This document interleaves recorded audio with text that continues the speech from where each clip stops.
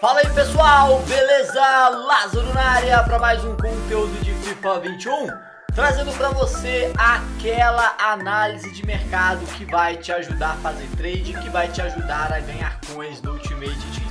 Pra rapaziada que é nova por aqui, está conhecendo o canal agora, aproveita para se inscrever, ativa todas as notificações para receber o nosso conteúdo em primeira mão. E se você gostar do vídeo, deixa aquele like para fortalecer porque ajuda demais.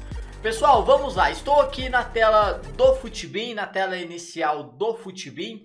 E já quero antecipar para vocês que, mano, eu não fiz absolutamente nenhum investimento uh, ontem após a premiação do Squad Battles. Dei mole? Talvez, porque eu abri mão de fazer os investimentos para poder finalizar a WL. Tipo, eu, o que, que eu imaginei? Porra, eu vou chegar ali no final, vai estar tá muito ruim, então eu deixo a WL para lá e foco nos investimentos. E na verdade o que aconteceu é que na WL a gente estava muito bem, muito bem mesmo. Uh, chegamos ali no final com grandes chances de fazer 22, sonhando, é claro, né? Forçando um pouquinho, sonhando aí no Elite. Mas acabou que a gente ficou com o ouro 1, mas foi um ouro 1 muito gostoso. Por quê? Na semana passada, semana passada, se não me engano, a gente ficou com ouro 3, ouro 2, ouro 3, mas mano, foi muito sofrido, foi muito sofrido. E nessa WL foi totalmente diferente, uh, foi tivemos um desempenho muito, muito melhor. E no dia de hoje também, mano, eu não tive tempo para praticamente nada, tive que resolver um monte de coisas, tanto que nem o conteúdo ali das 15 horas, eu só dei uma olhada rapidão para ver o que tinha saído e não existia a menor hipótese de eu gravar o vídeo uh, de conteúdo das 15 horas. Então, assim, realmente não fiz praticamente nada em termos de trade. Uh, ah, para te falar que eu não fiz investimento, deixa eu ver se dá pra gente abrir aqui. No console ali eu não tô no, no Ultimate Team. Eu mostro para vocês aqui o que a gente... Na verdade, assim, não é nem que eu comprei, mano. É que eu dei o lance e, tipo, vai na sorte, tá ligado? Então, basicamente foi isso. Uh, não tive nem tempo, para você ter ideia, a corrida foi tão louca que não tive nem tempo de botar para listar, né? Então foi, foi bem louco mesmo. Cadê lista, transferência, 80 e poucos ali. Ó, somente Carvajal, tá? Somente Carvajal, todos ali comprados por 25. É, podemos até dar uma olhada no preço dele agora. Provavelmente vai estar mais baixo, né? Devido aí a conteúdo. Não, na verdade não, mano. Ó. Delicinha. Vou listar tudo agora por 28 então. Só acabar o vídeo aqui. Vou sentar no sofá ali para assistir uma sériezinha.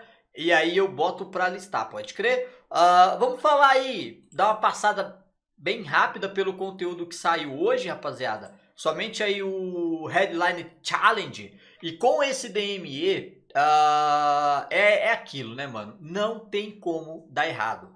É ouro não raro na cabeça e correr pro abraço. Lá no nosso grupo do WhatsApp, inclusive eu vou deixar o link na descrição e nos comentários e fixado lá no primeiro comentário. Teve um brother que mostrou lá, acho que ele vendeu 87 cartas uh, em uma listada só. Então foram 87 cartas do graças ao DME dos headliners. Então assim, é, é GG, é muito fácil de lucrar com isso daí, principalmente se você pegar na parte da manhã, quando já passou o hype do, do DME, é muito fácil de você pegar ali ouro não raro, de boas nacionalidades, boas ligas, ah, ali por aproximadamente 600 coins e depois botar para vender ali por 900, 1000, 1200 e ganhar as suas coins. Uh, vamos falar um pouco mais sobre o restante do mercado. Falamos aqui sobre o DME que valorizou aí os ouro não raro.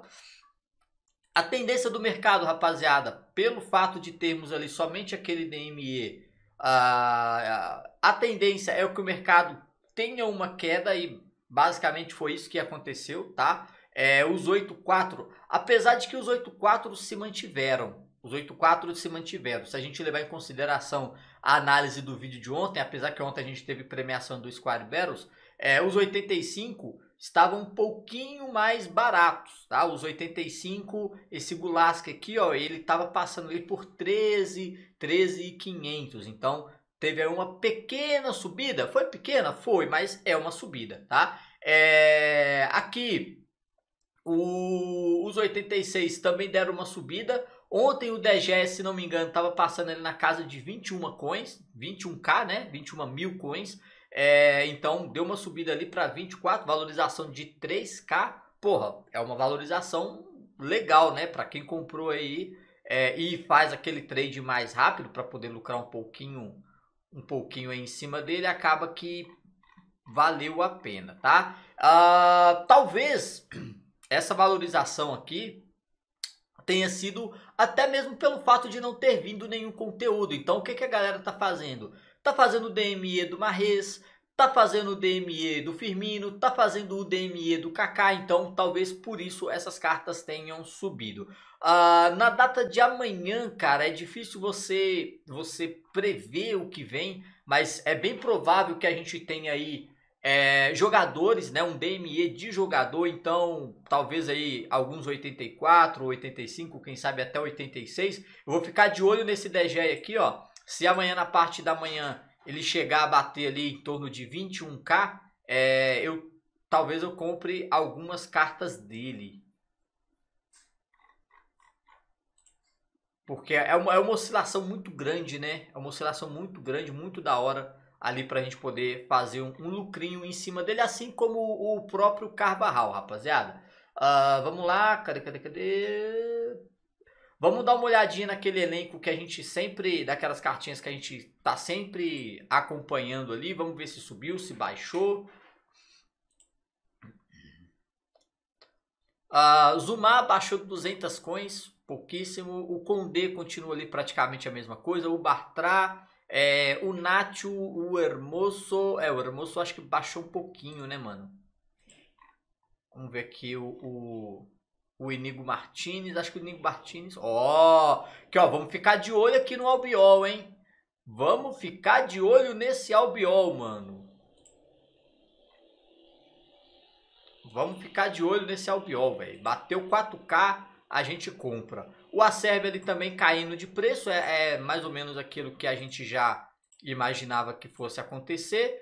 Uh, o Ierai aí bateu 1.600, né? Ontem tava 2.200, então assim, o domingo, rapaziada, é diferente, mano. O domingo não tem jeito, o domingo é diferente. Deixa eu dar uma olhadinha aqui na carta do Mi, é, parei de analisar ela de tanta raiva que eu fiquei. Achei que ele estaria mais caro, viu, rapaziada? Achei que ele estaria bem mais valorizado. Tipo, dava para ter comprado ele lá por 1.100 coins? Dava, mas eu achei que ele já estaria ali na casa dos 3k. É, como a, a seleção da semana que ele está envolvido acaba ali na quarta-feira, mano, só se vier alguma coisa muito braba amanhã para fazer ele subir bastante, mas não é tendência não, viu? Encerrar o albiol aqui, eu já falei. Beleza, então a, a ideia agora, rapaziada, é essa então. Fazer trade de ouro não raro, é, fazer alguns flips tentando pegar ali mais o mais barato possível, como Carvajal, como Degeia, como Piquet, né? A galera tem, tem feito bastante trade com o Piquet também, tem mostrado lá no nosso grupo. Piquet Shakira, vamos lá.